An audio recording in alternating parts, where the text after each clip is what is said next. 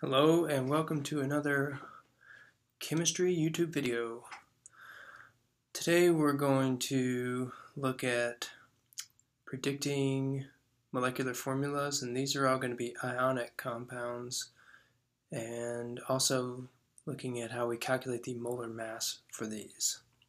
So I've got four examples that I'm going to run through and again they're all ionic compounds. Some of them involve polyatomic ions those are the ones that need to be memorized, and other ones, I have one here that's just chlorine, so we can predict that based on looking at the periodic table. Alright, so my first one is barium and hydroxide. First thing you need to do is know how to predict the charge on barium. Whoops. If I look at my handy dandy periodic table, I see that barium is in group 2. That means it's going to have a 2 plus charge. Um, so write out the symbol barium 2 plus, and then remember hydroxide is one of your polyatomics that you memorize, and that is OH and has a 1 minus charge. Then when we put these together in a in a compound, we're going to draw our arrows and switch the superscripts. And the 1 will go with the barium, and then the 2 will go with the hydroxide.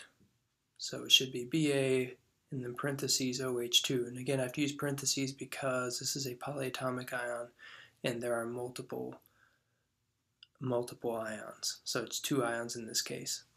They go with the one barium. All right, so that's the formula. And then if I was going to name this, it would just be barium hydroxide. So you may be asked to predict the formula based on two elements or two an element in a polyatomic ion, and then you have to name it, barium hydroxide, write out the chemical symbol, and then additionally, let's look at the molar mass. So the molar mass is where the periodic table is going to come in handy, and those numbers underneath the chemical symbol will come in handy. And we see that the number for barium, well, let me bring it up here try to refocus this thing.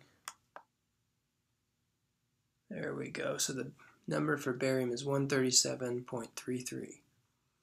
And remember, that's an average of all of the isotopes of barium. So this is actually called the molar mass of barium. It's 137.33 grams per mole.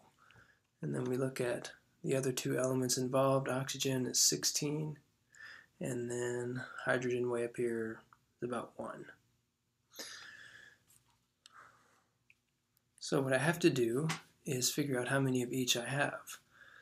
I have one barium, and one barium comes in at 137.33. Then I'm going to add to that two oxygens. This 2 here tells me that I can distribute it to the everything that's inside the parentheses and oxygen is here. Since the subscript on oxygen, there is no subscript, it's just 1. So I go 2 times 1, which is 2. So there's two oxygens in this compound.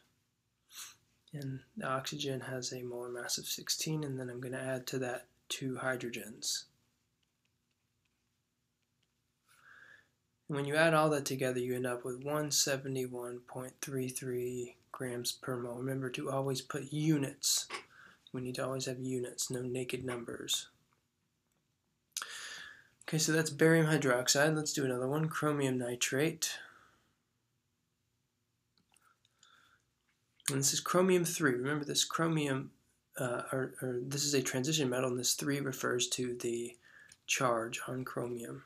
The symbol for chromium is Cr, and the charge is 3, so we don't even need the periodic table for that. We also don't need the periodic table for this because this is a polyatomic ion that you have memorized. And so the charge is minus 1 for this. We can do the same thing like we did for the barium hydroxide. And we see that chromium gets the 1, and then we need parentheses for the nitrate. I'm going to put the 3 down there. So this is how you come up with the formula from the elements and the ions. And then when we name it, again, it's pretty simple, chromium 3 nitrate. All right, so now on to the molar mass of this one.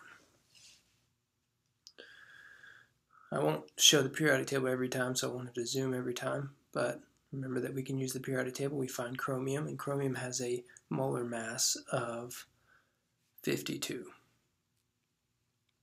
So 52 grams per mole. And then now we look at inside the parentheses. Remember this 3 is distributed to everything inside. So let's start with the nitrogen. We have three nitrogens, and each nitrogen is 14. It's actually 14.01. so we multiply 3 times 14.01 because, again, this 3 is distributed to the nitrogens inside.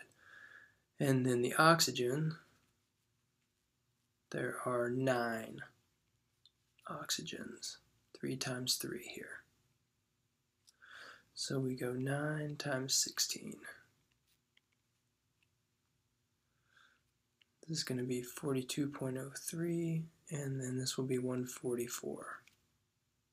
So we take and we add all these numbers together. We add the 52 from chromium, 42.03 from the 3 nitrogens, and the 144 from the 9 oxygens. And then when you do that, you should get 238 grams per mole. All right, let's do a couple more calcium and chlorine. Again, going back to my periodic table, I now need it again because I have to predict the charge. Calcium is not a transition metal. It's in group 2. It's an alkaline earth metal. So it's going to have a charge of plus 2 because it's in group 2. Chlorine, way over here, is in group 17. Remember, it only needs one electron to become stable like argon, so it has a charge of minus 1. Calcium 2 plus, Cl minus. Draw our arrows, and we end up with calcium getting the 1 and Cl getting the 2. Okay. And to name this one, all we're going to do is drop the suffix from the chlorine and make it chloride. So we drop the INE and turn it into IDE calcium chloride. For the molar mass, same idea for this one. Calcium has a molar mass of 40.08 when I look at the periodic table. And then I have chlorine. There are two of them, two. And each one has 35.45 grams per mole. Then when I add this together, so this should be 70.90. And again, this is 40.08. When I add these two together, I should get 110.98. Whoops. Fell off the screen there. Grams per mole. All right, one last one. This will be the one with the most numbers in it. okay, magnesium, not a transition metal. So let's look and find magnesium. It's right there, so it is in group 2. It will come in with a 2 plus charge. Phosphate is a polyatomic ion, so that one you already know the charge, which is 3 minus, PO4 3 minus. And then we do our flip-flop here.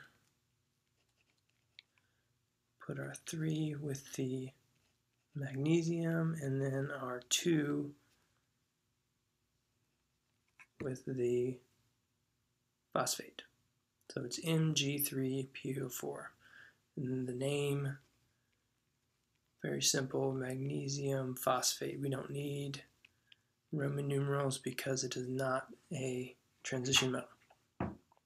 All right, so let's look at how many of each element we have. We have three magnesiums here because we have a subscript of three under the magnesium. And each magnesium comes in at 24.31. We have three of them. and then we have two phosphates, or sorry, two phosphoruses. This 2 distributes to that P. P comes in at 30.97 when I look at the periodic table, and I'm going to multiply that times 2. I'll just put 3, 2 here. And then I take 4 times 2, which is 8. That's the oxygens. Each oxygen is 16. I'm multiply it by 8.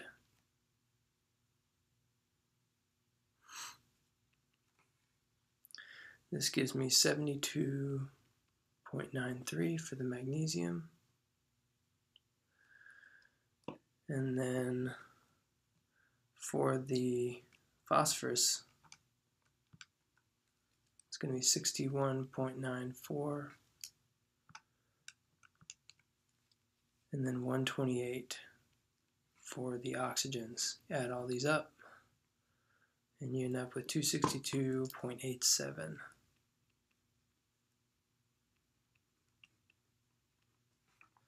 grams per mole. Okay, well, I hope that was helpful, and uh, more videos to come on upcoming topics.